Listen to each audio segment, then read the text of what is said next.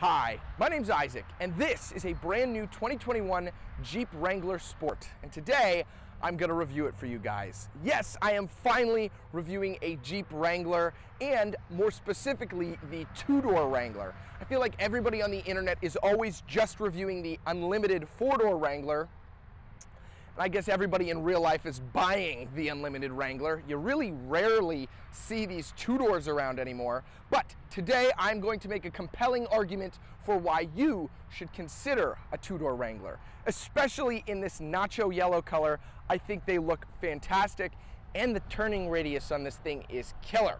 So without further ado, let's get started.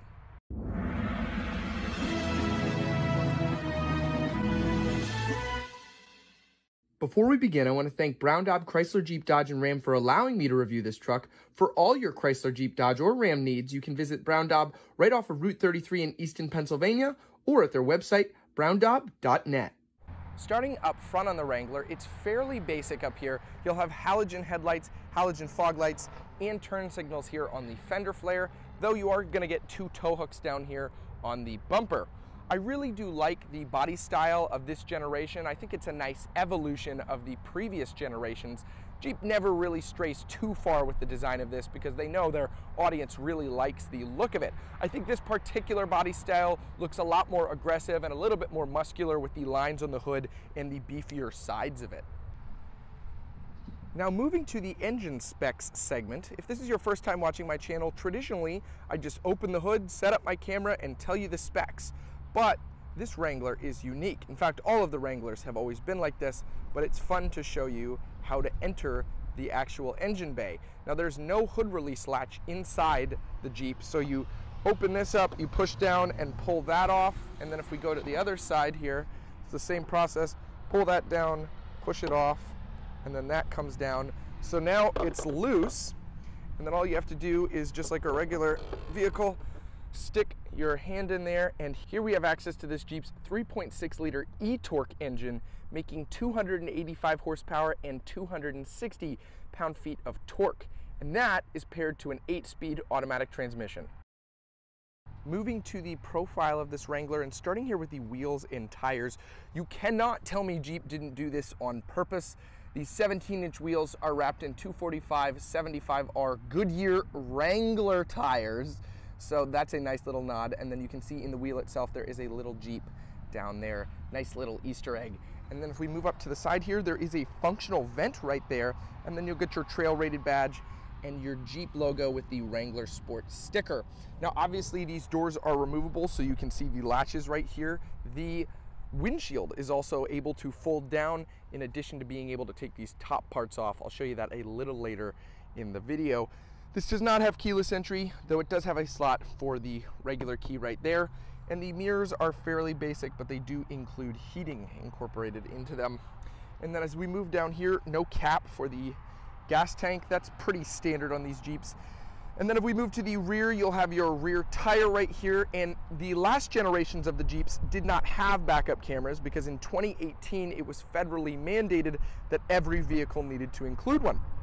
So a lot of aftermarket uh, manufacturers would put, if they wanted a backup camera, you would put it on the license plate down here, but then you're getting half the tire and you're really not getting the uh, best visibility. So for this generation, when Jeep had to include a backup camera, they very cleverly integrated it into the spare tire right here. So it's right in the center. Very, very smart on Jeep's part.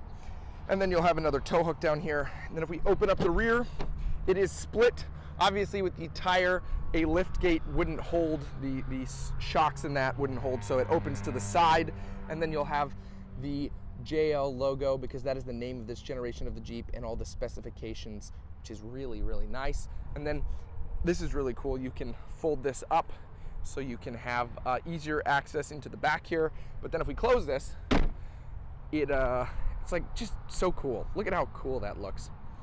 And you can have uh, as I mentioned previously, easier access into the back right here for storage. Back here, pretty basic for storage, though there is an AC uh, 12 volt, or sorry, DC 12 volt back here. Additionally, if you open up the rear again, there is a little hidden storage cubby down here, which is really nice. And you can put all your door hinges in here if you take off the paneling. So that's really nice as well. Nice little hidden cargo. And then if you want to fold the second row seats down, you can just hit that button and then they will fold down automatically. Stepping inside the Wrangler, starting here with the door panel, you'll get your mirror controls right here, a really nice door handle, and then lock and unlock. Now you might be saying, well, if you can take the doors off, how is all that functionality still in there? Well, what you can do is down here, all the wires are in this cord. And so basically what you do is you just unhook this cord and that unplugs the wires for the functionality of the door controls. And then the mirrors are very cleverly integrated into the center right there. But we'll get to that in a minute. Moving along the panel here, you'll have your lighting controls and then your climate vents. Very nice build quality in here, and you are gonna get a driver's side grab handle. So stepping inside here, very nice steering wheel. Let's turn the Jeep on here. Pretty good overall sound, and then closing door here, it is very cozy in here. You're gonna get a nice center gauge cluster screen right there with everything you'd ever need to know on this Jeep. And then you have the controls on the steering wheel right here. So you'll have your drivetrain controls, your speedometer, your tire pressure, and then you could do everything else that you'd want to do, you know, with your radio and everything like that if you want to see what station you're on. So it's really nice and convenient to be able to see all the different things, your pitch and your yaw, which is always great to see as well.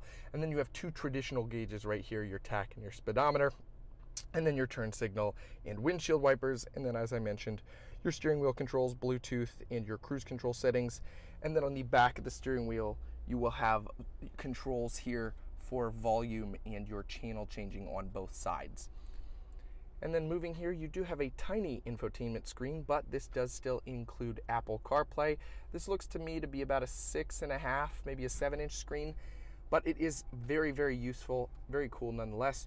You can go into your climate control settings and you can control your heated seats or your heated steering wheel from in here, as well as all the climate controls, though thankfully below the screen, there is a full suite of climate controls as well with physical buttons for all of that stuff, which is always really nice to see. You're also gonna get a volume knob and a tuning knob for the radio, which I love to see the physical ones. Very quick and responsive. I love Uconnect. I think Chrysler, or I guess it's called Stellantis now, really knocked it out of the park with their infotainment systems on this generation. And it's just really responsive. And even on the smaller screen, you get so many features, and so I always love to see that. Moving below that, the climate controls and your other buttons, you'll get hill descent control, screen off, mute, traction control, stuff like that. And then down here, you'll get a 12 volt, your window controls, so you don't have to unplug those as well when you're taking the doors off. And then right here, you'll have your auxiliary USB and USB-C slots and then you'll have a really cool physical four-wheel drive selector next to your automatic transmission. Now this does come in manual still, which I absolutely love. I am a big proponent for manual transmissions, so thankfully that's still available on some of these trims. Um, and it's really cool to see the physical uh, four-wheel drive thing. And then you'll get two cup holders right here, and then a little nice center armrest that has a USB inside, and then it also does have a top rack with this kind of like cool camo texture right there. I don't know if you want to keep your wallet in there or something. And then you'll have your Wrangler logo on your uh, oh crap bar right there. And you will have a lockable glove box, which is really nice. And then I, I did notice right over there, I think I can zoom in. Yeah, you have another Jeep hidden there on the windshield doing a little climb. All right, really quickly, I just wanted to show you guys how to get into the back seats. And I don't want any comments like, oh, that's Doug DeMuro's thing. Like Doug DeMuro's the only person to have ever shown how to get into the back seats of a vehicle.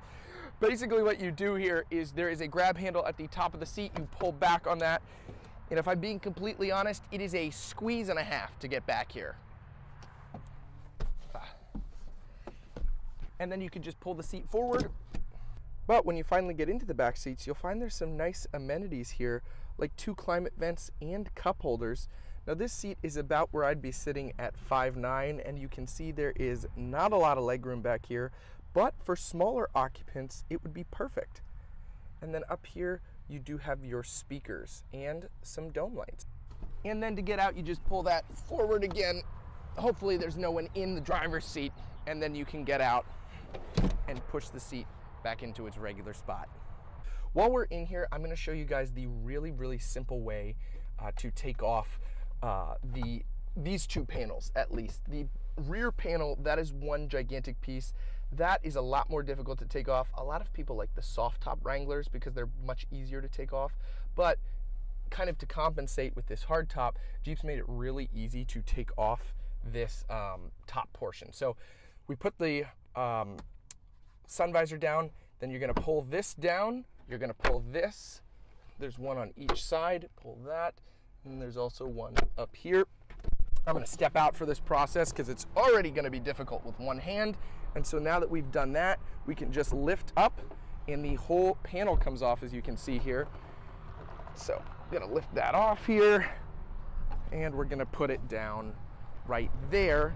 And so then you can do that on both sides and I'll uh, switch real quick. There we go. And now the whole thing's off. Hopefully that transition went well. I don't remember where I had my hand when I did it, but hopefully it looked okay. And then you can store those two pieces if you want in the rear, which is really nice. So you can have kind of this open top feel without taking the entire roof off. And that's a little bit more of a chore. That you really need a whole team to do. But it's still really nice to have this very open top design. And it's pretty much uh, like having, it's more than obviously having a sunroof because you have the entire section right here and it's just really cool. I've always loved how Jeeps have done this, and I think it's just so fantastic. And as much as I've ragged on Jeeps in the past, uh, in my videos and in my personal life, I love these things. Honestly, I hope to also have a Jeep someday. I have my Tacoma now, love my Tacoma, I think it's fantastic, but I also really love these two-door Jeeps, and I would love to have one myself if I ever, if I ever became wealthy. Anyway, let's take this thing for a spin and see how it drives. All right, driving the 2021 Wrangler Sport. I don't know if I can properly convey how much fun this thing is to drive. It's so zippy, and as I mentioned in the opening, the turning radius is incredible on this thing. It's like so tiny and amazing. I love everything about this. Never have I had so much fun just drive, like walking over to drive the vehicle to where I review it. Like I just, like a, it's a 30 second drive.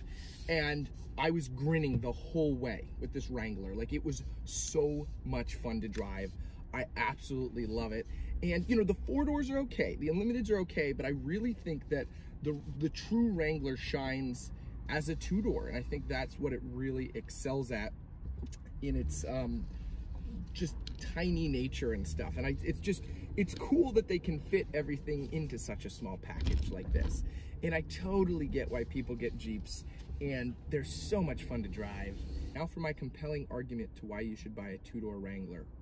Well, it still can fit passengers in the back. Not well, but if you have younger passengers, you know, if you have a family easy to fit people in the back right there and you're not getting as much storage space as you would in an unlimited but it's still really nice. And as I mentioned killer turning radius. So if you go down the wrong street and you need to make a UE this thing can make a much better UE than a than an unlimited can. And it's also much better off-road for rock crawling and stuff because of the shorter wheelbase. So that is also a huge benefit of having this smaller cab. I also just like it because it's cozy. It's really cozy in here and it just feels cool. It's like a man cave and it's like, ah, yes, I'm at peace in my Wrangler and it's just uh, really nice, but it still retains its kind of beefy looks. So it works in kind of a cool trucky way too. It's not, um, you know, silly that you can take the roof off or whatever. It's a, it's a cool thing. I personally would probably go for a soft top because it's easier than to take the entire roof. That pretty much is going to conclude this review. I really hope you guys enjoyed. And if you could like and subscribe, that would really help my channel. I'm also a Christian, so if you have any prayer requests, you can leave those in the comment section below. And I like to do a weekly Bible verse, so here that is. And with the Bible verse, I'll see you guys next time. Take care.